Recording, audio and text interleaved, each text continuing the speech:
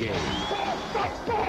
Big-time college basketball, the stuff of dreams. Join Dan Rather for an inside look at a big money game. I hear you make 750000 a year. But behind the hype and the hoopla, who are the real winners and losers? 48 hours Thursday.